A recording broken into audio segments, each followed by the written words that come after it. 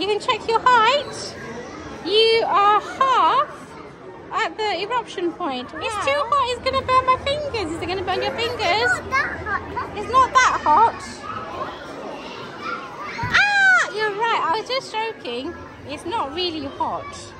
There we go. So it starts from the bottom and it goes all the way to the top.